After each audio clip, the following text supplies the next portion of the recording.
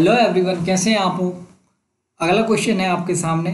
Three pumps working eight hours a day can empty a tank in twelve days ठीक है? मतलब three pump at hours काम कर रहे हैं अ डे एक दिन में। तो वो दो दिन लग जाते हैं उनको टैंक खाली करने में।